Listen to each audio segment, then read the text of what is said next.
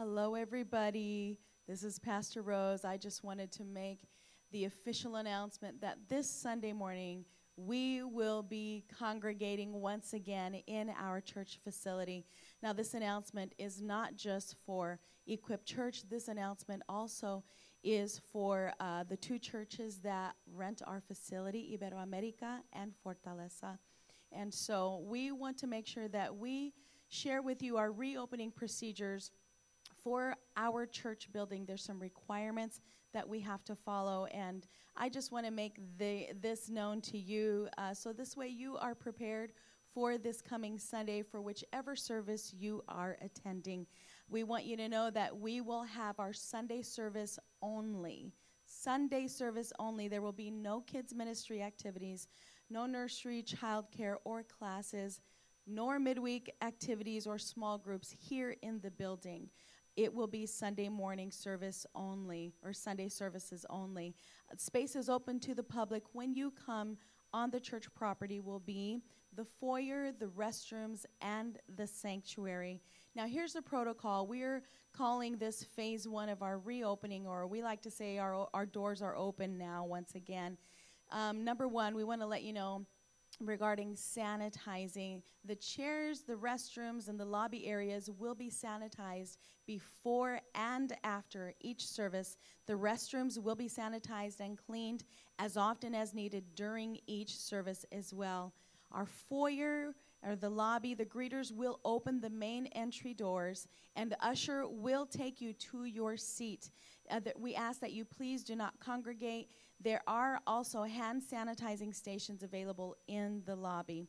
As far as the sanctuary, we have spaced seating pods.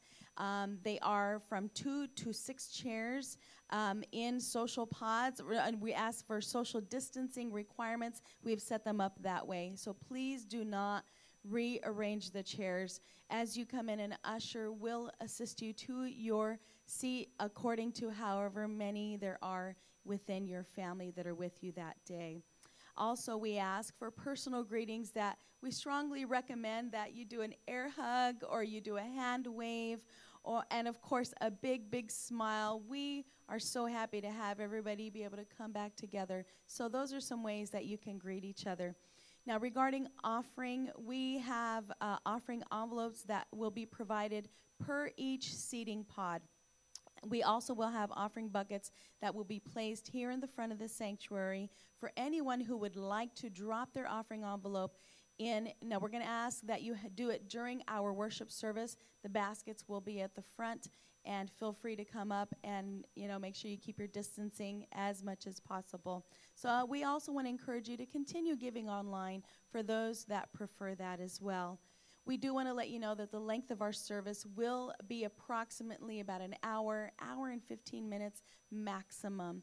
Uh, again, there will be no kids ministry, no nursery or childcare. Now, we have on our website, um, under our kids ministry, we're going to ask the parents that uh, if, if you would like, you can have your children bring their digital tablets, their iPads, their uh, phones, or whatever digital device that they can utilize to be able to uh, access their children's class. We have designated each children's class for the specific age, for preschool, for elementary, and preteen as well. And so they can do that as our pastor is preaching. Then have your children bring their headphones and their digital devices, and they can receive their classes online right there in their seats. We also want to let you know that uh, you are welcome to wear a face mask if you would like. And so we're not, there's no judgment. There's no, if you are comfortable wearing a face mask, mask, then please do so. If you're not, that's fine as well. Uh, regarding social hygiene, if you need to sneeze or cough, we ask that you please cover your mouth and cover your nose as well. Our drinking fountains that are in the lobby will remain closed. They are shut down uh, for safety precautions. Now, we would like to reiterate if you have a fever or are not feeling well, please stay home. Please stay home for your safety and everybody else as well. We will continue live streaming or uh, airing our services online for those who are not able to come due to illness or have pre existing health conditions and or are the most vulnerable and at risk, please remain home and continue joining us online. Now we're happy that we can once again come together as the body of Christ to worship in the Lord's house, in this church building.